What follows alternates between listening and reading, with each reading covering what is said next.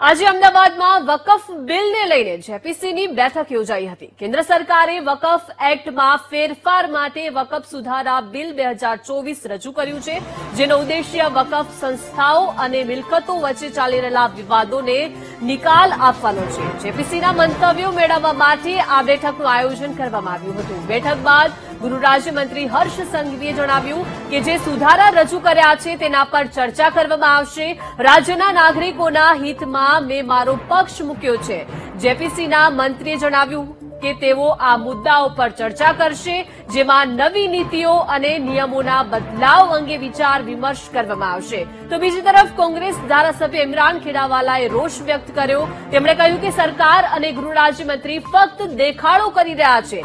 વકફ બોર્ડના સભ્યોએ રજૂ કરેલું પ્રેઝન્ટેશન પણ સરકારે કહ્યા મુજબનું છે.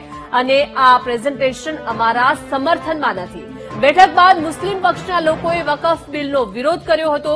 મોટી સંખ્યામાં મુસ્લિમ સમાજના લોકોએ વિરોધ કર્યો. મુસ્લિમ પક્ષે જણાવ્યું કે તેઓ સરકાર દ્વારા લાવેલા વકફ બિલનું સમર્થન નથી કરતા.